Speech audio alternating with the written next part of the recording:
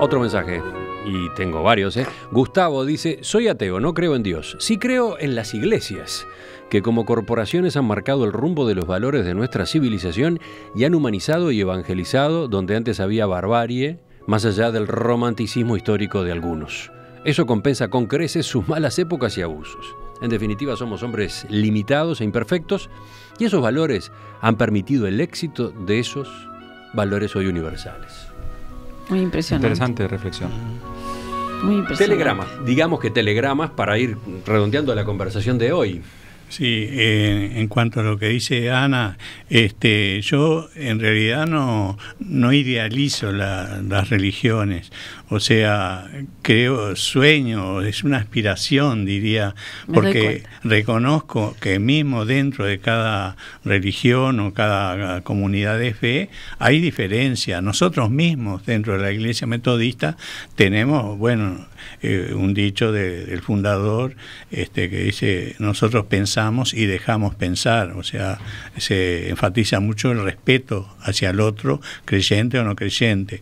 Ahora, eh, tenemos diferencia, hay temas este, como, en fin, el aborto, la, sexualidad, etcétera, etcétera, que, que nos ha llevado a, encontrarnos y, no mencionar antes, durante la dictadura también, eh, las diferencias que habían dentro de nuestra iglesia. Este, y creo que muchas veces, eh, digamos, lo ideológico, político, pesa más que lo religioso o, o, aquellas cosas de la fe que nos, que nos une, ¿verdad? Pero digo, eh, creo que eh, como aspiración, digo, como pastor y, como parte de la iglesia, eh, sería un, hermoso testimonio que podríamos dar si nos unimos en, cosas que, que, valen la pena practicarlas como una, eh, un ejemplo, digamos, de unidad que pueda servir para el resto de la sociedad. ¿no? En ese sentido, nada más que quería decir que, que no soy, reconozco lo que decía Ana, de, de, en fin, que, que la religión también muchas veces nos enfrenta eh, unos a otros, digamos, y bueno, a la vista está no solamente en el pasado, sino en el, en el presente, ¿no? Pero eh, sigo soñando en ese ecumenismo que en algún tiempo y, que creo que sigue siendo vigente.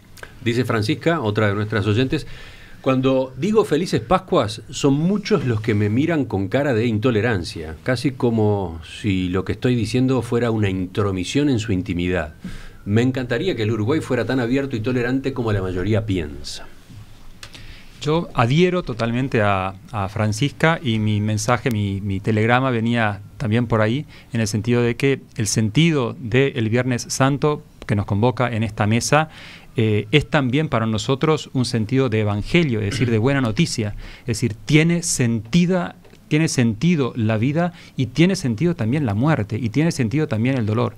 Y en ese sentido me adhiero a lo que dice Francisca de desear anticipadamente unas felices Pascuas y desear que esas felices, ese deseo de felices Pascuas pueda ser recibido también por aquellos que no necesariamente comulgan con nuestra, con nuestra fe como un deseo de feliz, de, de feliz vida, de feliz pasaje de las experiencias que están teniendo y para aquellos que creen, sí, una feliz Pascua, que es el, deseo de recibir la vida que el Señor nos da por su muerte y resurrección.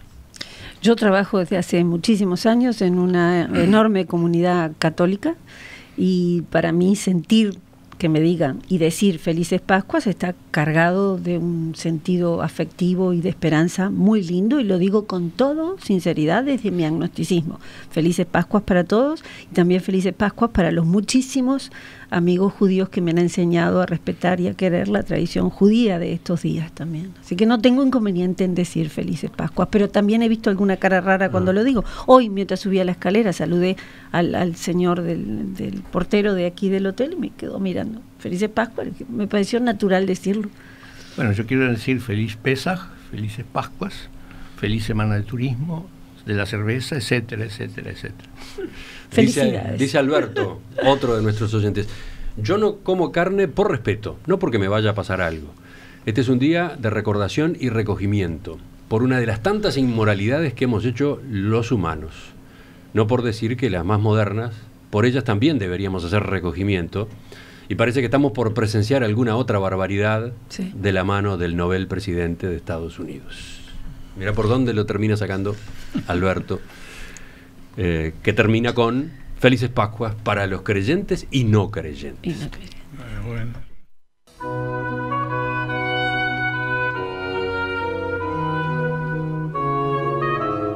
Cerramos, cerramos la mesa de los viernes en esta edición especial de Viernes Santo, agradeciéndole a, a Ana Rivero y a Juan Grompone como siempre, y a quienes han sido nuestros invitados. El pastor Ademar Olivera y el padre Daniel Kerber. Ojalá los contemos de nuevo. ¿no? Muchas gracias, un gusto Nos compartir con ustedes. Gracias. Muchas gracias y bueno, como decía Daniel y los demás compañeros, felices Pascuas para todos, creyentes o no creyentes. Felices Pascuas. Gracias. Noticias, las trae Romina y después seguimos en perspectiva hasta las 11. Viene la mesa del tiempo libre.